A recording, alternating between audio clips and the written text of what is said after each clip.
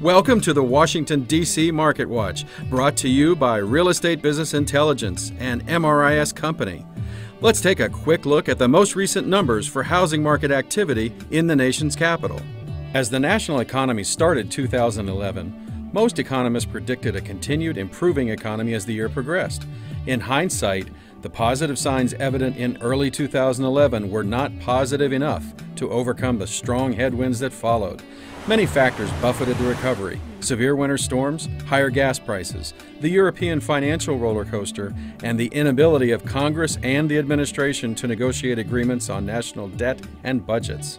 Given this backdrop, it's indeed fortunate that a double dip recession did not occur. Now, in early 2012, almost all economic measures are pointed in a positive direction, and more strongly so than a year ago. Unemployment is down, gross domestic product is up, corporate earnings are up, and most importantly for the housing market, consumer confidence is on the rise. All of these positive indicators set the stage for continued recovery in the housing market.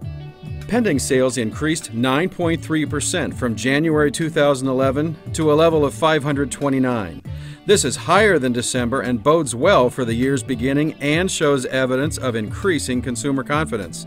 Perhaps the biggest story in the region's housing market is the declining inventory, which is bringing the supply demand picture into better balance. Active listings in January were down 27.6% from a year ago. The result? Month supply of available housing is declining. January's rate of 3.2 months is down 2.2% from December and is in the range that indicates a seller's market. Median home prices have been generally stable, reflecting the improving economic conditions and the increasing balance between supply and demand. The median sale price in January was $375,000, which is a slight decline of 8 tenths of 1% from January 2011.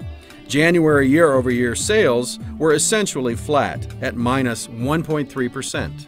These trends indicate continued improvement in the fundamentals underlying the housing market, with lower inventories, continued low interest rates, lower rental vacancies, and decreasing unemployment rates. The spring housing market looks to be better than the last few years. That's the Market Watch for this month. Be sure to come back next month for the latest.